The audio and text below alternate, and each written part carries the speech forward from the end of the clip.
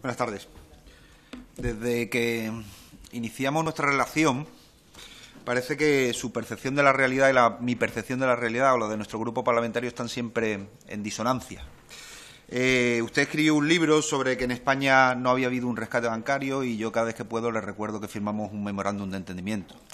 Usted nos habla de la solidez del crecimiento de la economía española y yo le digo que una solidez del crecimiento que deja fuera un tercio de la población y que no genera inclusión no es crecimiento por mucho que se esfuerce en llamarlo de esa manera.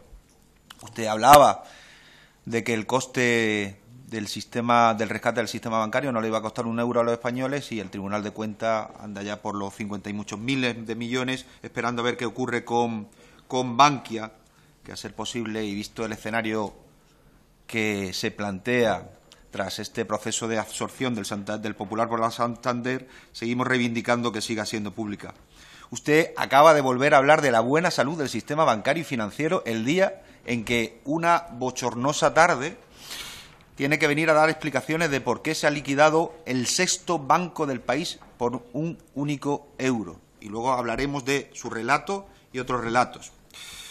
Y usted hablaba de los problemas, de que ha insistido permanentemente en que los problemas del sistema bancario y financiero en este país han sido el de las cajas de ahorros y que el problema ha sido la titularidad presuntamente pública de esas cajas de ahorro y, sin embargo, lo que le acaba de estallar en la cara es esencialmente la crisis de liquidez de un banco privado gestionado privadamente. Eso altera radicalmente el relato que hasta ahora se ha tenido del sistema bancario y de la crisis del sistema bancario y habrá que ver cómo el Banco de España enmienda el informe que acaba de presentar sobre el relato de esa crisis. Usted ve cosas que los demás no vemos. Luego viene aquí, nos trata de convencer de lo que hemos visto y que le hemos dicho que no cosas que, que le hemos dicho que no eran así. Realmente usted tenía la razón y trata de convencernos de ello. Es como la peli del sexto sentido, pero en versión de Berlanga, que solo usted eh, no ve, no se ha enterado aún que el banco estaba muerto. Ha venido a contarnos una especie de crónica de cómo se ha liquidado el, el Banco Popular sin tener en cuenta a quién, se ha, a quién se le ha entregado y cómo se le ha entregado y qué ha ocurrido desde que usted afirmara en abril que el Banco Popular era solvente,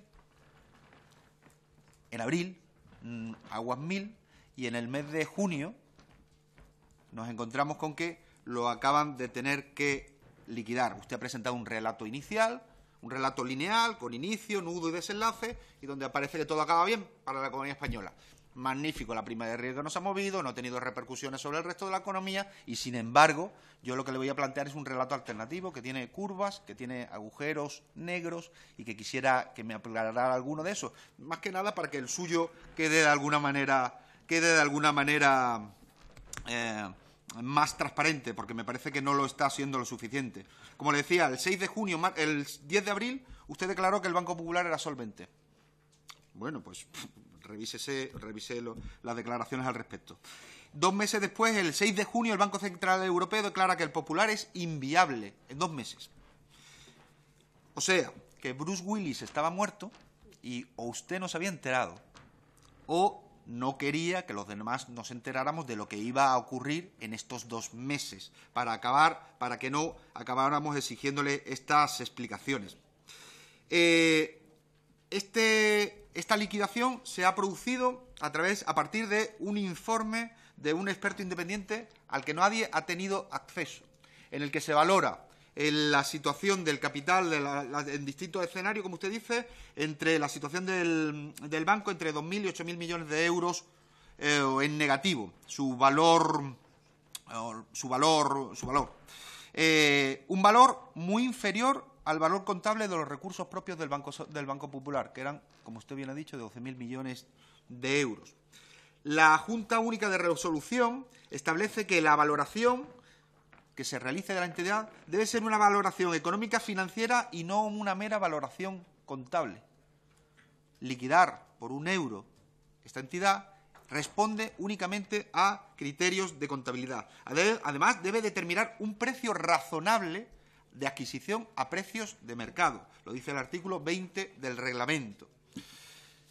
El experto determina, sin saber muy bien cuáles han sido los criterios, porque no sabemos cuáles han sido los criterios, que el valor económico-financiero del Popular era negativo y que andaba entre los 2.000 y los 8.000 millones en negativos. Que como consecuencia de esa situación había que llevar todo su capital a cero y había que venderlo a un euro. Es decir, una situación muy paradójica donde el valor económico-financiero es negativo y, sin embargo, el, el banco cuenta con un patrimonio neto contable positivo. Cosa bastante, bastante rara porque no es que hubiera un agujero de 8.000 millones en el balance del Popular, es que el, el experto independiente, aún desconocido, estimó que un comprador prudente solo compraría el banco si el banco era gratis.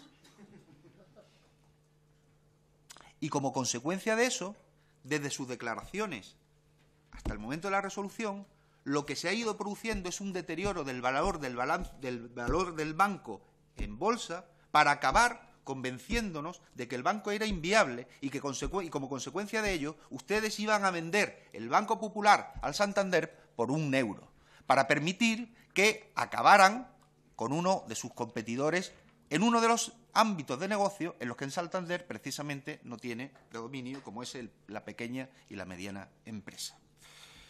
Cuando el Santander incorpore el Popular a sus cuentas consolidadas, la diferencia entre el Fondo de Comercio del Banco Popular, eh, la diferencia entre el euro pagado y el patrimonio neto contable del banco, permitirá que ese colchón de 12.000 millones no solo le va a permitir nuevas provisiones, atender a las nuevas provisiones que va a tener que realizar el Santander para esos activos deteriorados, que efectivamente ahí están, sino también para todos los gastos extraordinarios derivados de su absorción.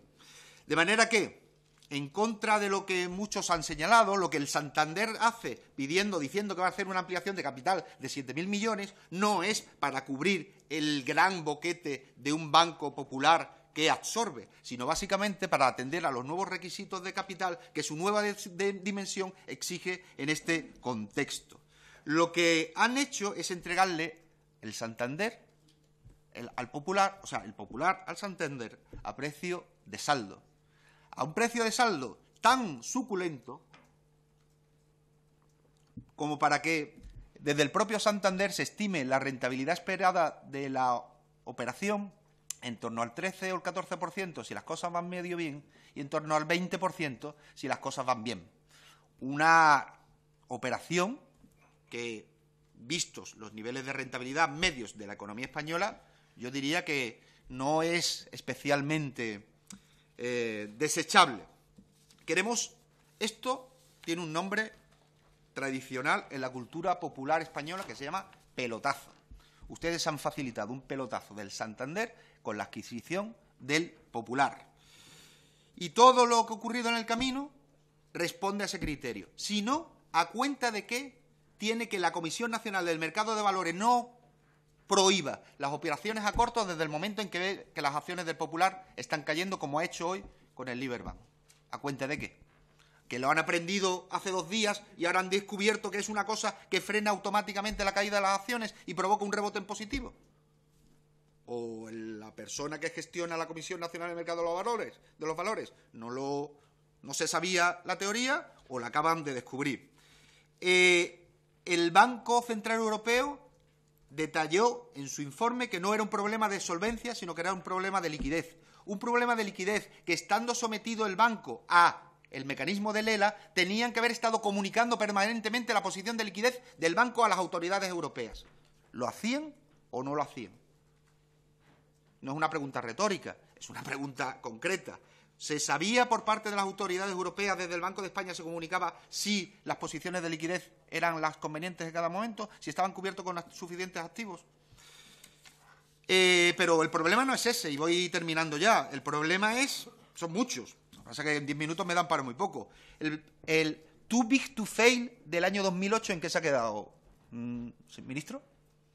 ¿Qué parte de no debemos, debemos evitar la existencia de bancos sistémicos por los problemas de estabilidad y de riesgo moral, que introducen en la economía, cuando lo que hemos hecho es un proceso de concentración de la industria bancaria en este país que no tiene precedente en Europa. En el, año 30 en el año 97, los activos totales de los cinco primeros bancos eran del 31,4. En el año 2008 del 42,4. En el año 2016 del 61,8. Cinco bancos controlan el 61% antes de la asistencia del, proceso de fusión, controlan el 61% del total de los activos. La mitad del sistema financiero es too big to fail permanentemente necesitado de atención para no dejarlo rescatar por sí y en ese caso de la intervención del sector público. No olvidemos el impacto sobre los trabajadores de la absorción, el mecanismo de subasta, que un, proceso de subasta competitiva, aquello que era como el, no sé, como el pasapalabras, es decir, no se, se leía en el rosco y el primero que fallara se queda, salía del proceso. No había un mecanismo que permitiera la posibilidad de que entrara un banco extranjero que evitara la superposición de, eh, los ámbitos de negocio entre el Banco de Santander y el Banco Popular. Entre otras cosas, porque corren riesgo 5.000 puestos de trabajo en estos momentos que hay que sumarle a los 2.600 del expediente de regulación de empleo en el que están.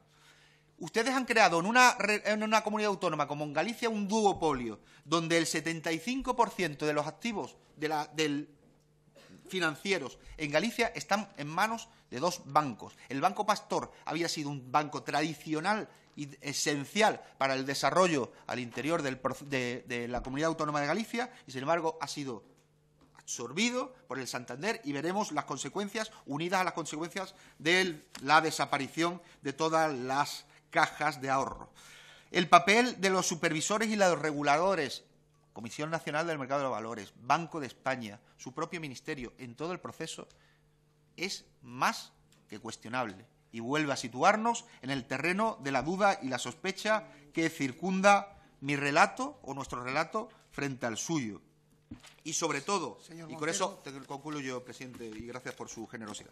Y sobre todo, el papel del sistema bancario en estos momentos para estimular un cambio de modelo productivo, para atender las necesidades de exclusión financiera, queda enormemente en entredicho, si no lo estaba muchísimo antes ya. Y eso exige en estos momentos que Bankia no se privatice de nuevo, que se mantenga como una banca pública capaz de atender lo que estas instituciones financieras privadas no van a hacer. Muchas gracias. Muchas gracias, señor.